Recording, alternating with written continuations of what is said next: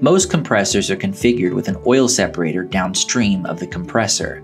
An oil separator is a vessel that is specially designed to separate any oil in the discharged vapor and return it back to the compressor where it is wanted.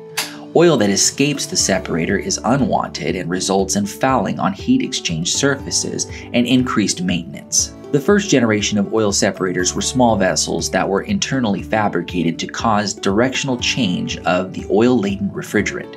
Changing directions provides an opportunity for oil droplets to separate from the ammonia and be returned to the compressor. Coalescing oil separators are widely used on screw compressors and provide superior separating capabilities. Coalescing oil separators are also vessels, but have two distinct sections.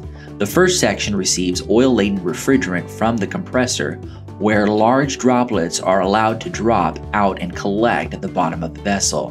The refrigerant then passes through a filter called a coalescer, which is designed to remove smaller droplets of oil.